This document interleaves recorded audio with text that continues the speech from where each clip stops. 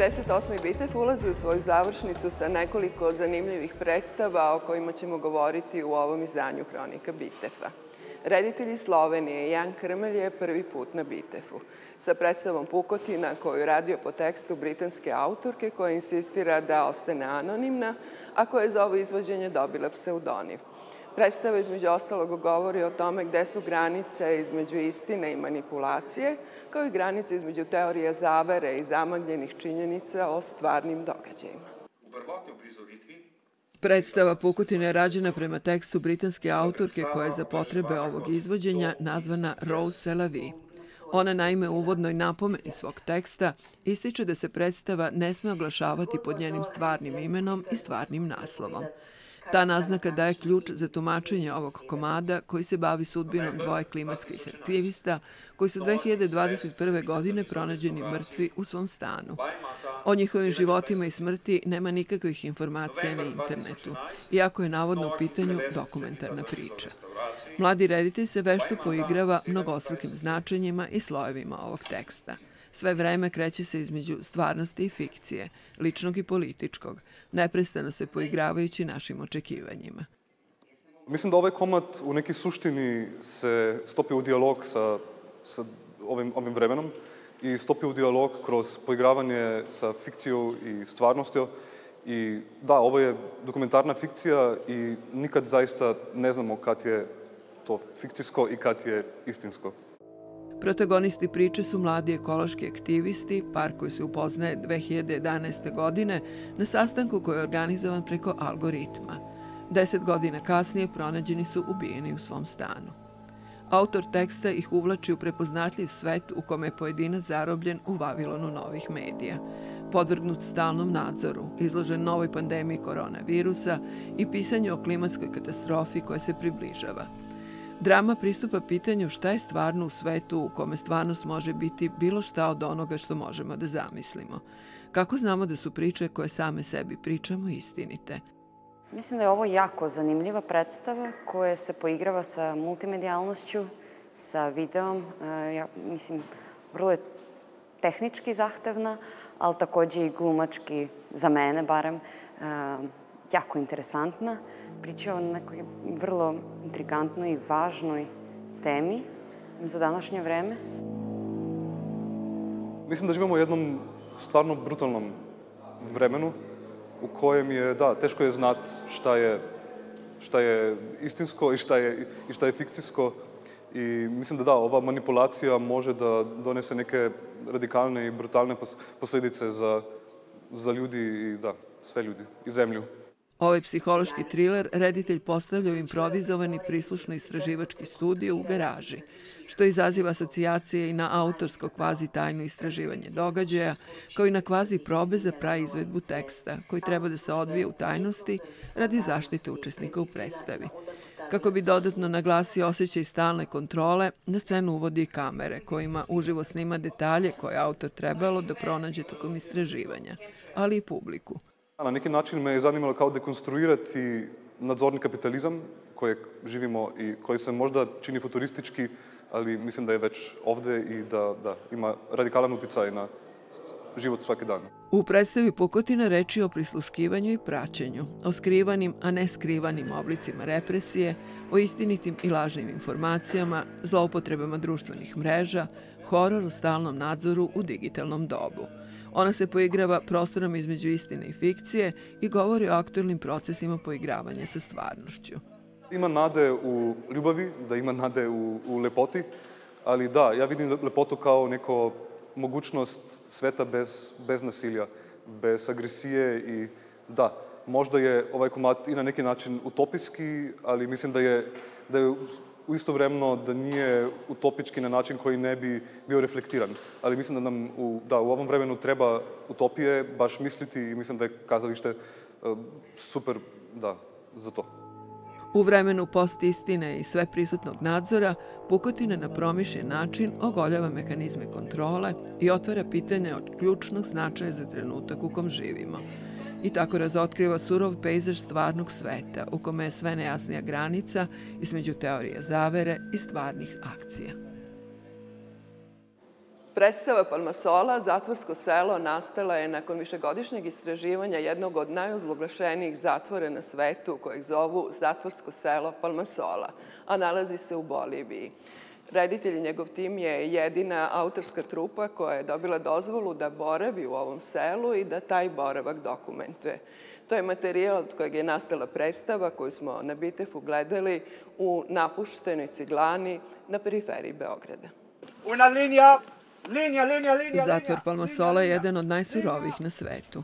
Tu država ne obezbeđuje ćelije, već zatvorenici moraju da iznajme, kupe ili izgrade svoj smeštaj, koji se kreće od kampova pretrpanih ljudima do komfortnih odaja sa poslugom za imućne zatvorenike i vođe kriminalnih bandi.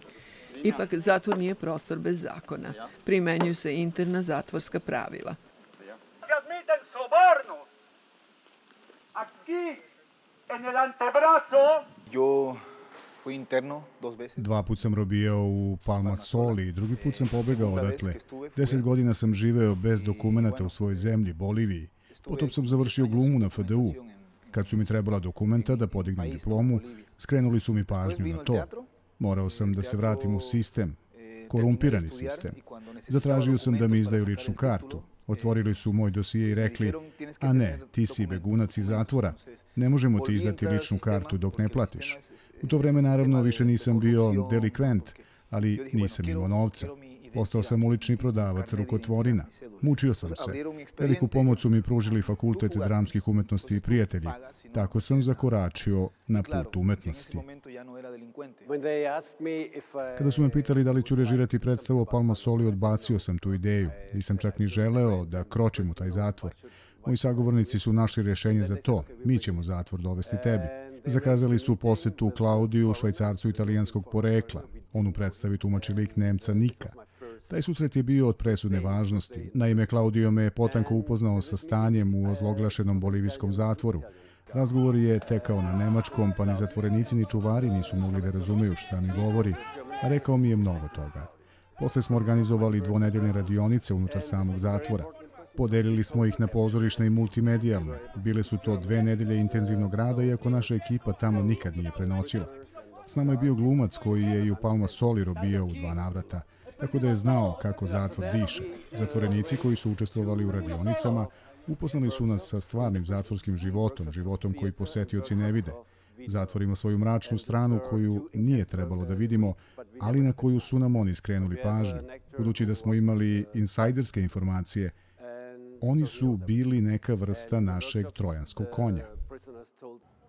Priče i podaci za pozorišnu predstavu prikupljeni su kroz razgovore sa zatvorenicima, advokatima, predstavnicima zatvorske uprave i policije, ali pre svega kroz pozorišne i video radionice sa zatvorenicima.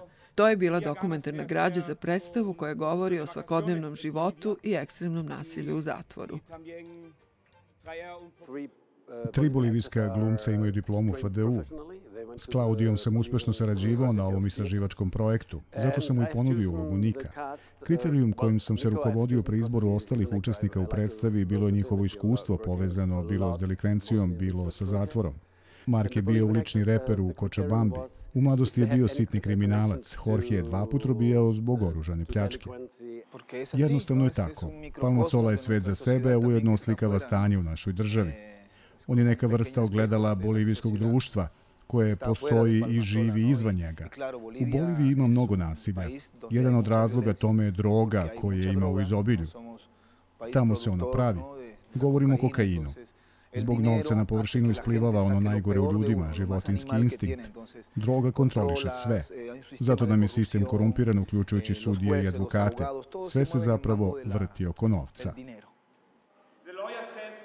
Kroz sudbinu novopristiglog zatvorenika, švajcarca uhapšenog zbog krijumčarenja kokaina, publika saznaje o nemilosrednim zakonskim pravilima kao i o mentalnim i fizičkim strategijama preživljavanja zatvorenika. Ono što tu priču čini još intenzivnijim je način na koji je ispričana. Publika u napuštene ciglani nije samo posmatrač koji iz tame i udobnog svog sedišta posmatra nešto što je geografski ili emotivno daleko. U bliskom je kontaktu sa izvođačima, bez mogućnosti distanciranja i opuštanja. Na taj način ima priliku da iskusi šta znači život u ovom zatvorskom selu, ali i da na nov način sagleda okolnosti spoljnog sveta u kom žive i zakona opstanka u njemu koji se možda i ne razlikuju mnogo od onih u Palmasoli.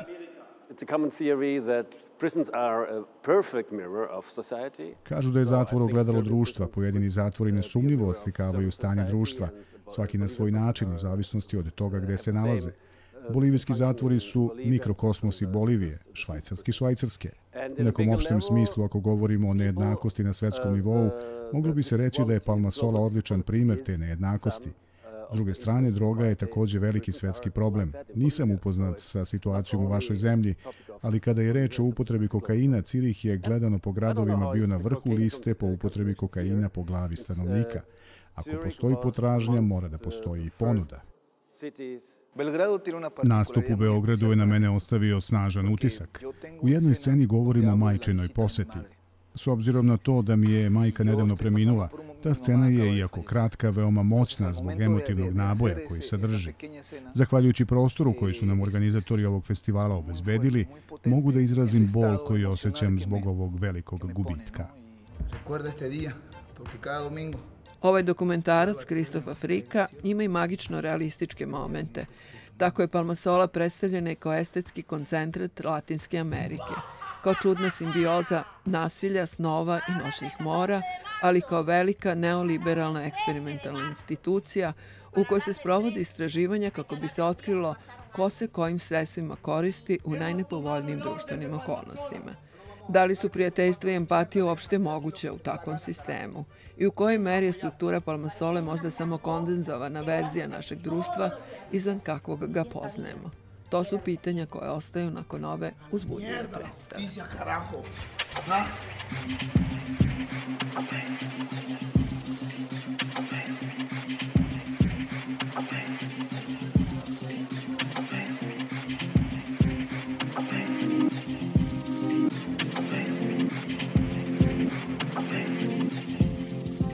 Najočekivanija predstava u glavnom programu ovogodišnjeg Bitefa je bila Antigona u Amazonu, uvek izazovnog reditelja i umetnički i politički Mila Raua. Rad ovog autora osvojio je beogradsku publiku pre pet godina takođe na Bitefu sa predstavom Orest u Mosulu, koja je slično donela jedno savremeno, angažovano, estetski i politički provokativno tumačenje antičke tragedije. Antigona u Amazonu je poslednji deo trilogije koja reinterpretira antičke mitove, a za potrebe rada na ovoj predstavi Rau je boravio u Brazilu, gde šume i prirodu uništavaju kapitalizam i vatra i gde jedan procenat stanovništva posjeduje 45 procenata zemlje.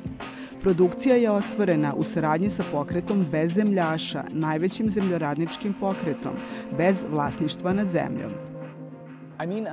Negde 2018. bio sam na turneji po Brazilu. U to vreme je bivši predsjednik Bolsonaro i dalje bio na čelu države. Moje predstave su bile zabranjene u nekim gradovima. Tada su mi prišli ljudi iz zemljoradničkog pokreta bez zemljaša MCT i predložili da zajedno kreiramo predstavu. Razmišljali smo i odlučili da predstavu smestimo na sever Brazila, gde je ovaj pokret i nastao u velikom masakru koji je sprovela vojna policija. Tada smo odlučili da ta dešavanja prikažemo kroz Sofokleovu dramu Antigona, jer to delo govori o borbi tradicionalnog društva protiv modernog kapitalističkog društva, o borbi između Antigone i Kreonta.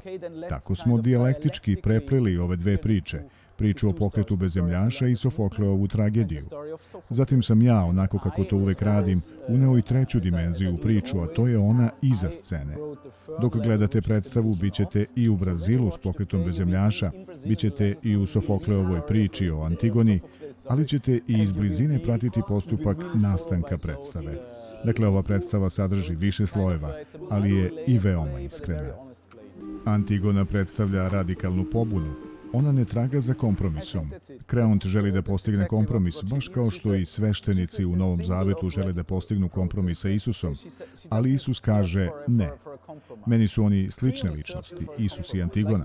Oni oboje kažu da je ceo sistem truo, da ništa nije kako treba, da nema dostojanstva i pitaju se kako treba da se ponašaju u takvom sistemu, zašto uopšte žive, zašto život nema smisla, šta sve ovo uopšte znači.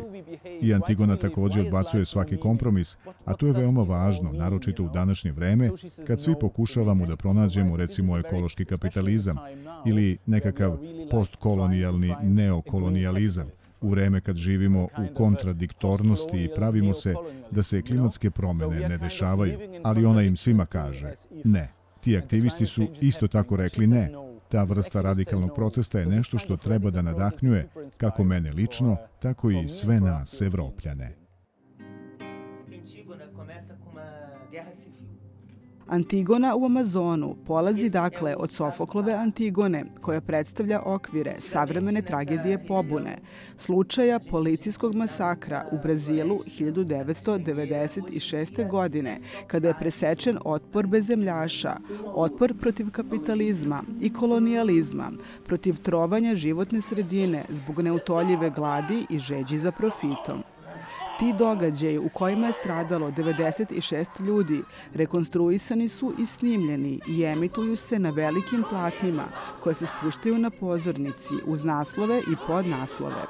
Glumci na sceni ulaze u zanimljivu komunikaciju sa glumcima na filmu, stvarajući izazovnu sintezu igranog i dokumentarnog, ali i muzičkog izraza. Ja sam jedini koji ne tumači ni jedan lik iz tragedije. Milo je obezbedio muziku, a ja na neki način naraciju i predstavljam spoj, kariku koja povezuje Brazil i Evropu. Već 15 godina živim u Belgiji, ali dolazim iz Brazila. Ostvario sam blizak odnos sa horom dok smo bili u Brazilu. Predstavljao sam most između dva sveta – Ja pripovedam priču o tome kako je izgledala naša komunikacija sa njima dok smo snimali. To podsjeća na hor iz grčke tragedije koji pesmom najavljuje šta će se desiti. Ja na određen način na pozornici predstavljam taj hor koji je na platnu. Imali smo intenzivno iskustvo jer smo deo muzike pripremili ovde pre nego što smo otišli u Brazil. Jedna od tih pesama je i ona sa Polinikove sahrane, koja se izvodi na kraju kada svi ponovo ustanu. Napisao sam je ovde dok smo pripremali predstavu zajedno sa Elijom, drugim kompozitorom sa kojim smo sarađivali. Pesmu smo napisali zajedno ovde u Belgiji. Onda smo otišli tamo i predstavili je horu, a njihova snažna reakcija je ostavila dubok utisak. Pesma je verno predstavljala njihovo iskustvo jer su često bili u situaciji da nekoga ne mogu da sahrane. Izgubili su mnogo ljudi. Mnogi aktivisti su nestali zbog policije ili zbog velikih organizacija koje su se pobrinule da oni nestanu. Veza je bila toliko snažna da su čak štampali majice sa stihom iz pesme. Bilo je divno vidjeti kako muzika može da poveže stvarnost dva različita sveta.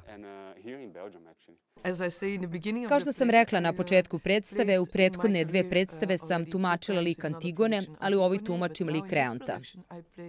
Kada smo prvi put bili u Brazilu, na vlasti je bio Bolsonaro.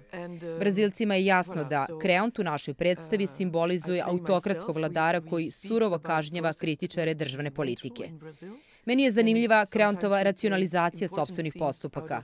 Tu se rađa sukob. Antigona kaže da postupa prema Božijim zakonima, na što je okrenut uzraća rečima da on deluje u skladu sa ljudskim zakonima, zakonima države. Dakle, imate sučeljavanje dva različita viđenja zakona. Brazilci Kreanta smatraju isključivo negativnim čovekom. Međutim, u mom tumačenju njegovog lika perspektiva se menja.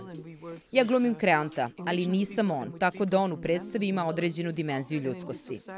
Sa članovima pokreta, bez zemljaša, smo želeli da stvorimo ideju da nada postoji, da se čovek može suprotstaviti nepravdi što oni u stvarnosti čine. To je okosnica radnje. Ja se pojavljujem u beloj odori i govorim Antigoni da će izgubiti život ukoliko ne odstupi od svojih stavova. U svim grčkim tragedijama narod je suviše buntovan, zbog čega gube sve. Međutim, u predstavi Kreont je tragična figura. Zbog svoje tvrdoglavosti on ne preza ni od čega.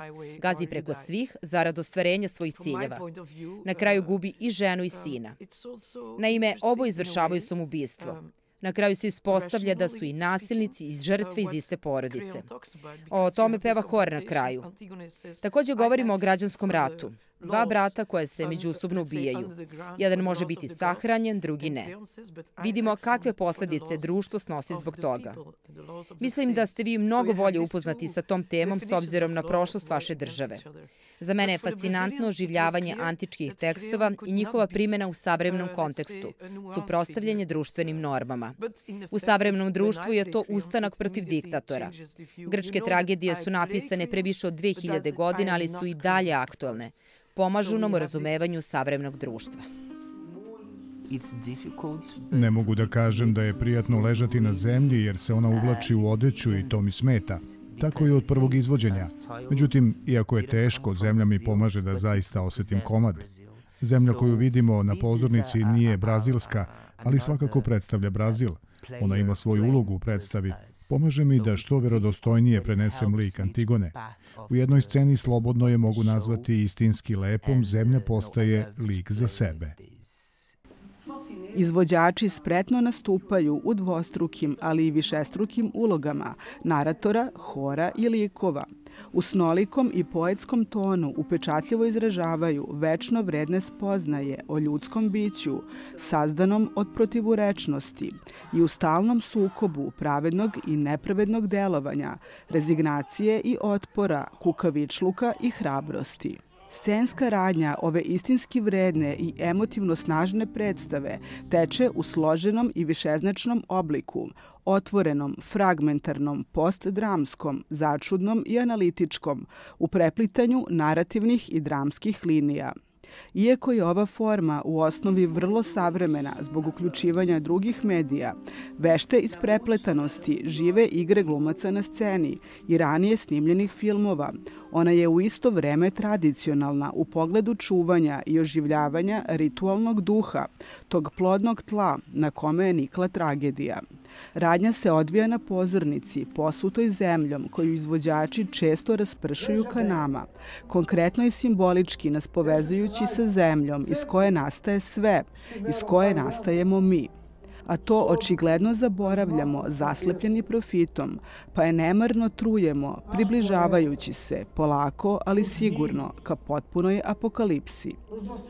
Antigona u Amazonu diže odlučan glas protiv te diktature profita koja razara planetu, namećući ideju da nas samo otpor može izlečiti.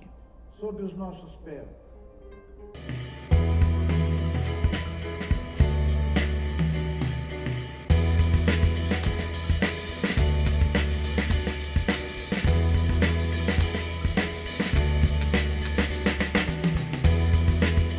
Poslednja predstava u takmičarskom programu ovogodišnjeg Bitefa, kontroverzan prvi deo trilogije Snaga kučke, takođe je praćena uz ogromno interesovanje publike. A minha perspectiva é a confusão. Polazeći od tragičnog slučaja silovanja i ubistva umetnice Pipe Bake, brazilska rediteljka i izvođačica Karolina Bjanki u ovoj predstavi istražuje narative o seksualnom nasilju nad ženama kroz istoriju. I think uh, Kroz ovaj nastup prizivam, na primer, Marino Abramović i drugi umetnice performansa. Mislim da je kraj priče o Pipi Baki i kraj njenog performansa njeno silovanje i ubistvo. Za mene je to bila polazna tačka za proučavanje odnosa sa umetnošću i načina na koji se žene nose sa nasiljem umetnosti performansa ili seksualnim nasiljem koristeći svoje telo prilikom izvođenja performansa. Deo sa elektrom je bio način da stavim u kontekst sve nas, a ne samo publiku. Kao deo te priče stavila sam i svoje telo u slučaju službu umetnosti performansa. Komet pokušava da održi vezu performansa i stvarnosti u okviru pozorišnog iskustva. Smatram da je zabrinjavajuće to što mir ne donosi rešenje ili na licimeran način pokušava da donese rešenje. Umesto toga, sve dok postavljamo pitanje i održavamo nemir, problem je prisutan. Znamo kako to ide, znamo kako svet vekovima opstaje koristeći iste metode ratovanja, iste metode silovanja i ubijenja žena. Zato mislim da moramo pažljivo da se posvetimo ovoj temi. Ja sam to naučila kroz umetnost i istoriju umetnosti, ali lažne rešenja ne pokušavam da ponudim. Nisam želela da ljudi izađu iz pozorišta uz osjećaj olakšanja i ostave ovu temu za sobom kako bi nastavili sa svojim životom. Nedostatak katarze ili olakšanja unosi nemir. Polazići od priče o silovanjima žena na polju istorije umetnosti, od slikarstva do performansa, Bjanki tokom izvođenja sprovodi radikalan potez stvarnog uzimanja droge na sceni. Opijata koji se inače koristi kao omamljivač žena da bi one postale laka meta silovatelja. Reč je i o rekonstrukciji situacije u kojoj je Bjanki bila kada je istom drogom bila omamljena tokom jednog izlaska. Laku noć Pepeljugo iz naslova je brazilski naziv za piće koje se koristi prilikom silovanja. Piće za silovanje koje je mešavina droge i alkohola kojim se žene uspavljuju da bi bile silovane zove se Laku noć Pepeljugo. To je veoma okrutno jer postoji taj odnos krhke žene koja se suočava sa svojom sudbinom savladana snom iz kojeg će je probuditi princ. Zapravo je jezivo. Na izvestan način mi smo posmatrači, ali u isto vreme zajedno učestvujemo u ovom činu. Publika je prisutna, svi su tu sa mnom. Važno je i kako gledate na nečiji nestanak. Kako izgleda biti svedok nečijeg nestanka. Kada počnete da gubite svest ili padate u san, vi na neki način nestajete. Ja nestajem u svojoj predstavi. Bilo mi je važno da izvedem čin kojim pokazujem da razgovor o nasilju nisu samo reči. To nije obična priča, već mi na izvestan način delimo gubitak. Ja gubim svest, a vi gubite svog domaćina. Smatram da se uspostavlja ravnoteža između zajedničkog gubitka. Ovo žanrovski hibridno delo sa elementima predavanja, performansa, plesnog i multimedijalnog scenskog izraza, radikalno i svakako intrigantno uspostavlja važan kritički diskurs prema seksualnom nasilju i nasilju uopšte. Takođe, ona postavlja bitna pitanja o prirodi scenskog predstavljanja, o autentičnosti pozorišta kroz nenametljivu problematizaciju odnosa između igranog i stvarnog. Ipak, izuzimajući nekolicinu vrednih rešenja, predstava je u celini neusaglašena. Pokreću se mnoge teme na stilski različite načine, često bez mnogo veštine izvođača, jedne osobene plesne trupe koje prikazuje i istražuje tamne lavirinte nasilja.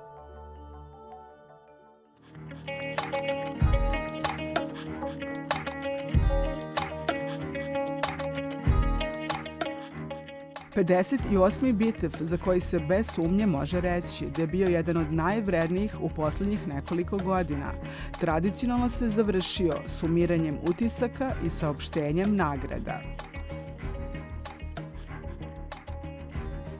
Vrlo sam impresioniran pre svega diverzitetom i razlikama među predstavama i vrstama izvođačkih prakse koje su zastupljene od neke vrste najkonvencionalnijeg savremenog plesnog teatra, dokumentarnog teatra, lecture performansa, što moram priznati mi je isto se posebno dojmilo. Čini mi se da je nekada pre nekih deseta godina lecture performance isto na neki način bio uključen, ali ne sa ovakvim predstavama, tako da mislim da je nekako zaokružena slika i pregled toga šta su savremene prakse. Postoje velika imena, velike produkcije, u smislu da se otvara neka vrsta fragilnosti i nežnosti u pristupu autora određenim temama i pre svega različitim izborima e, metodoloških sredstava i alata u radu izvođačkim praksama, što mislim da je zapravo ono što mene lično najviše raduje. Nekako ne deluje više sve tako maskulino, mačistički, patrijarkalno, grubo i hijerarhizovano. U nekim predstavama, u nekima i dalje da. Bitev je doneo kao i uvek posebno uzbuđenje, pogotovo kad su u pitanju neke predstave koje su zaista potvrdile koncept ovogodišnjeg festivala. U prvom redu mislim na predstavu Antigona u Amazonu i još nekoliko drugih, Palma Sola i slično, koje su na svoj način našle dijalog i u ovom vremenu, ali i dijalog i sa onim vremenom. E, dopala mi se naravno i Hekuba, koja je u jednoj posebnoj verziji izvedena, glumački pogotovo, a ono što zaista ove godine festival čini posebnim, to je ta njegova, e, taj njegov dijalog sa temama koje su bitne za čoveka i sudbinu civilizacije danas. Moram krenemo od organizacije koja je baš, mislim, bila izuzetna s obzirom na okolnosti, na uslove, na sve ono što se dešavalo u društvu tokom ove godine, kašnjenja i mislim da smo zaista uradili jedan izvanredan posao, pre svega ceo tim Bitefa, da su sve trupe došle, da su svi iz Beograda otišli zadovoljni i da je taj nivo organizacije bio na nivou pravog i dobro organizovanog festivala kakav biti već godinama jeste. Sa druge strane vidim da je zadovoljstvo trupa koji su nastupali izuzetno, svi su se zahvalili, svi su a, bili srećni što su došli u Beograd. I ono što je takođe važno, mislim da posle dugo, dugo godina nismo imali toliko gostiju iz inostranstva i pogotovo regiona u smislu ljudi koji prate pozorište, a to su znači pozorišni kritičari, teatrolozi, pozorišni analitičari, novinari, tako da je ovaj, po tom aspektu ovaj festival uspeo. Ja zaista verujem da je Bitev festival ili Bitev, kako mi svi zovemo, jel, našu manifestaciju, a, jedan od najvećih izuma 20. veka u smislu kulture i umetnosti. Izumili smo ga mi. A imamo utisak da ga mi uopšte ne volimo i da nam on a, nekako predstavlja jedan, a, jednu poteškoću u društvu i da naprosto, osim određenog kruga ljudi kojima treba ovakva vrsta pozorišta, ovakva vrsta izleta u umetnost, drugima to ništa ne znači. Čini mi se da to više znači regionu, pa čak i Evropi nego nama. Jer ako, ako pogledate agendu velikih pozorišnih kuća i velikih pozorišnih imena, svi su ovaj, bite funeli u nju. Ili su planirali da tu agendu obogate dolaskom u Beograd i na Bitev. A nama je to nekako postalo suvišno, postalo skupo, postalo nepotrebno, postalo opasno. Ne vidim zato razlog, jer to je umetnost i to je nešto što je iznad stvarnosti u kojoj živimo, bilo kakva ona bila. Žiri 58. bitefa koji su učinili rediteljka Marin Mann, glumice Jelena Stupljanin i Tihana Lazović, dramaturg Dimitrije Kokanov i novinarka i kritičarka Nateša Tripni doneli su sledeće odluke. Grand Prix Mira Trajelović dodeljen je hrvatskoj autorki Jasni Žmak za predstavu This is my truth, tell me yours. Specijalnu nagradu Jovan Ćirilov ravnopravno su podelile predstave Seksualno vaspitanje 2, Borba i trilogija Snaga kučke, prvo poglavlje, Nevesta i Laku noć Pepeljugo. Politikina nagrada za najbolju režiju pripala je Milu Rau i Antigoni u Amazonu. A nagradu publike je osvojila produkcija Seksualno vaspitanje 2, Borba. Gledali ste poslednju hroniku 58. Bitefa, festivala koji već šest decenija dokazuje ogromne moći pozorišta u umetničkom, ali i političkom smislu.